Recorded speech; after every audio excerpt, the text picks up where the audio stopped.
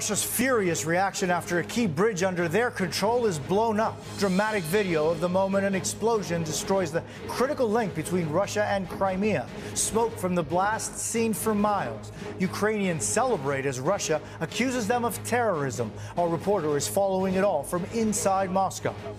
New allegations against Herschel Walker. NBC News obtains text messages between his wife and the woman accusing him of paying for her abortion. What they reveal. One of the survivors of that Las Vegas stabbing spree speaks out to us from her hospital bed. He got up to me and stabbed me in the back.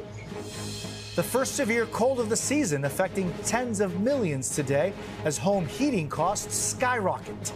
If we do get a $500 bill, we're just going to have to figure it out. What you need to know. This is NBC Nightly News with Jose Diaz Balart. Good evening. The questions and accusations are swirling tonight after an alleged truck bomb exploded on a bridge linking Russia to Crimea. You can see the moment the bomb detonated, sending part of the bridge into the water below. Russia has accused Ukraine of terrorism. For its part, Ukraine hasn't taken responsibility for the attack, but they're certainly celebrating it. The attack is a major escalation, hitting Russia closer to its own border.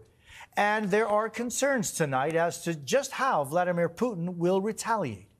Late tonight, he increased security for Russian infrastructure. But some advisors are pushing him to hit back and hit back hard. We begin tonight with our Keir Simmons inside Russia in Moscow.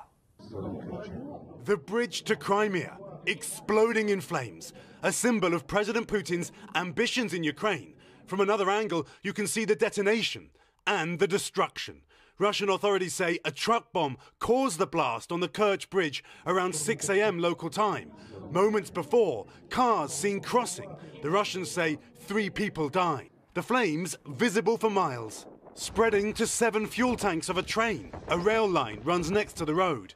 The attack, a strategic blow for Russian forces, who used the crossing to transport military supplies to Ukraine and a symbolic loss for President Putin, who was the first to drive across the $3.6 billion bridge in 2018 after annexing Crimea. Tonight, the Russians are furious, accusing Ukraine of terrorism, while Russian state TV playing down the incident.